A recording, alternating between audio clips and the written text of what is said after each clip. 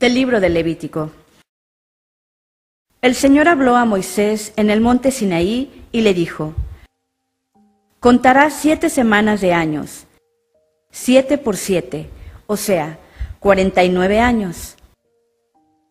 El día diez del séptimo mes, es decir, el día de la expiación, harán sonar las trompetas y las harán sonar por todo el país.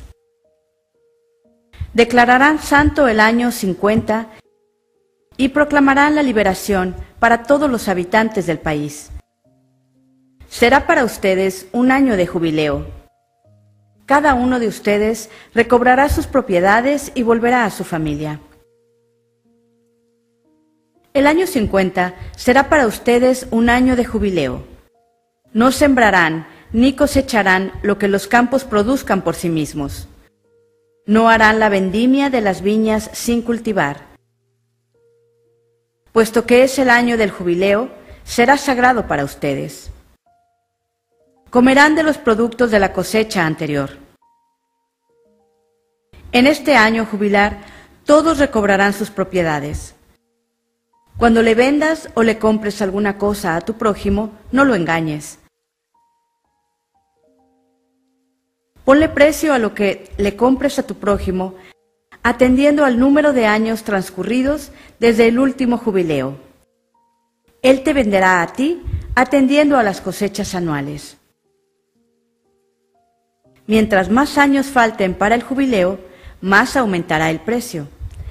Mientras menos falte, más rebajarás el precio. Porque lo que tu prójimo te vende son las cosechas que faltan. Ninguno de ustedes haga daño a sus hermanos. Antes bien, teman a su Dios, porque yo soy el Señor, Dios de ustedes.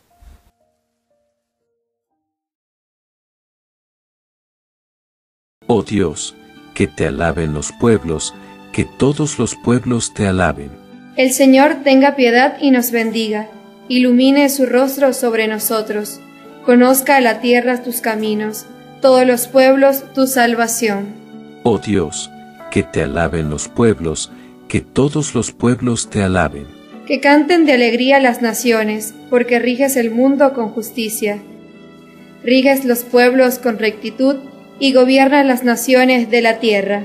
Oh Dios, que te alaben los pueblos, que todos los pueblos te alaben. La tierra ha dado su fruto, nos bendice el Señor nuestro Dios. Que Dios nos bendiga, que le teman hasta los confines del orbe. Oh Dios, que te alaben los pueblos, que todos los pueblos te alaben. Evangelio según San Mateo. En aquel tiempo, el tetrarca Herodes se enteró de la fama de Jesús y dijo a sus criados, Ese es Juan el Bautista, ha resucitado de entre los muertos y por eso actúan en él fuerzas milagrosas. Herodes había prendido a Juan, encadenado y puesto en la cárcel a causa de Herodías, mujer de su hermano Filipo. Porque Juan le decía, no te es lícito tener a esa mujer. Herodes quería matarle, pero temió a la gente, porque le tenían por profeta. El cumpleaños de Herodes, la hija de Herodías danzó en medio de todos, y gustó tanto a Herodes que éste le prometió bajo juramento darle lo que pidiese. Instigada por su madre, le dijo, Dame aquí en una bandeja la cabeza de Juan el Bautista. Entristecióse el rey, pero a causa del juramento y de los comensales, ordenó que se le diese. Y envió a decapitar a Juan en la cárcel. Su cabeza fue traída en una bandeja y entregada a la joven, la cual se la llevó a su madre.